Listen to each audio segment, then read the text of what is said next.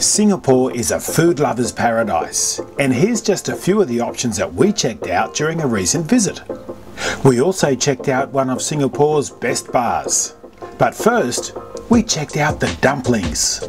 Well, here we are again in one of the um, popular Singapore restaurant. This place is called Paradise Dynasty. Um, it is famous of its uh, xiao long bao, which you may have heard of. It's a Chinese delicacy. It's a Shanghainese dumpling with uh, soup inside. You may have seen the traditional ones, which is just white. But check this out. Look, they got eight different varieties you can try, including black gras, spicy, and even cheesy ones. So um, yeah, I'm gonna tuck in and give it a try. Ooh, question is which one should I start? So before Anthony eats all of the Xiao Long Bao, I'm an expert because they actually give you a little guide on how to eat it. Let me show you. Now with the flavours, I'm going to go for the garlic one. Pick it up by the top, sit it on your spoon, bring it back to your mouth.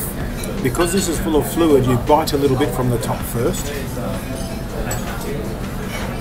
That creates a hole in the top of the Xiao Long Bao it's got a broth or a soup or a liquid in there, you then suck that out like this.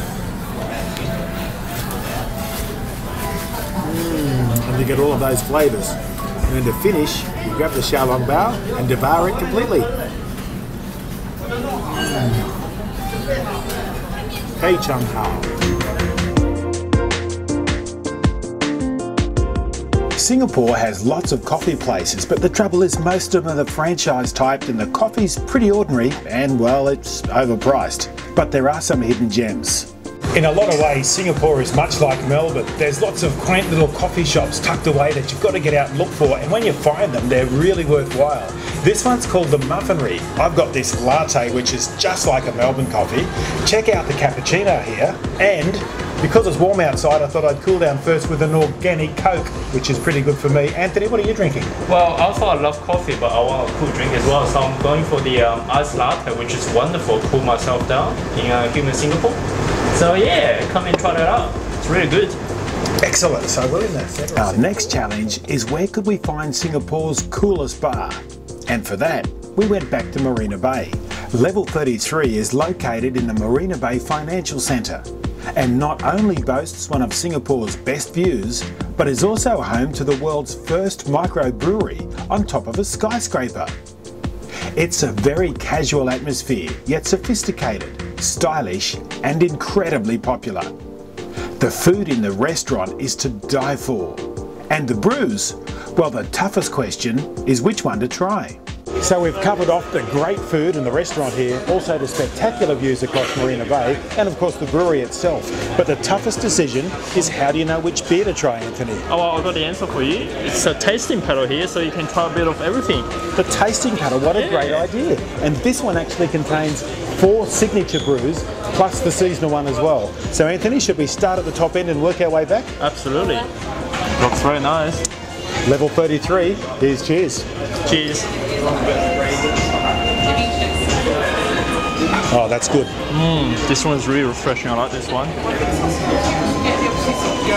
Beautiful. So if you're looking for a really cool bar in Singapore, we highly recommend Level 33.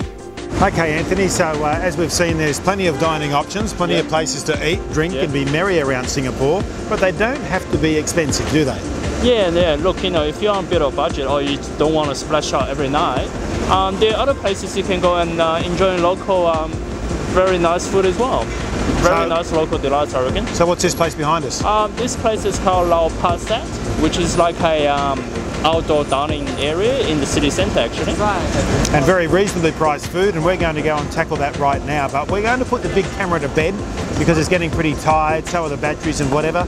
But what we have is we have the trusty uh, GoPro and also the smartphone camera. Yep, it's so, always come in handy. Absolutely. So we're going to go inside and document everything on our smaller cameras and put this big baby to bed.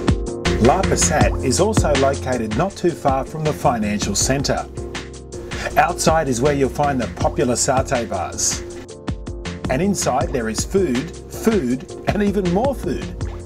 It's a great destination for anyone dining out on a budget.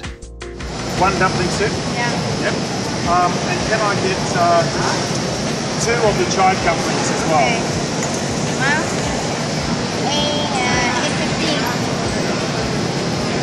$8.15. How good is that for value?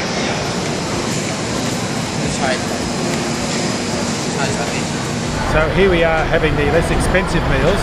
I've got this dumpling soup and also some chive dumplings and all of that was $8.50. Anthony, being the wonderful person that he is, has gone off to get me a nice Tiger cold beer to wash it all down. Pretty good meal, pretty good value, and with the beer, less than $20 for the meal. So it doesn't have to be expensive to eat out here in Singapore. Now that Paul had his face, it's my turn to get something real, not something just like Paul had. Dumplings, you can get it everywhere. It's nice, but if you come to Singapore, you get something real here. Come here.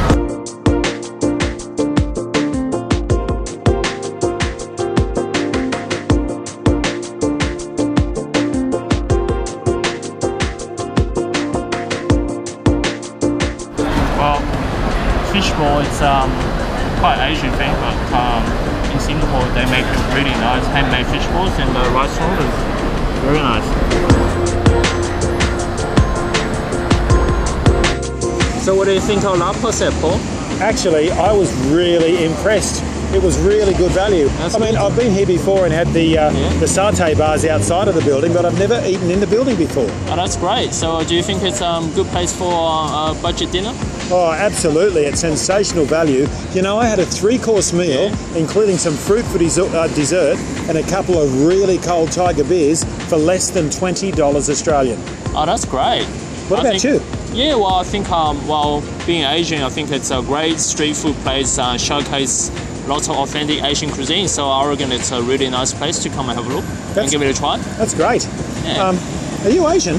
No, I'm Irish, by the way. Yeah, sure, I'm Asian. Ha ha ha. I never knew that.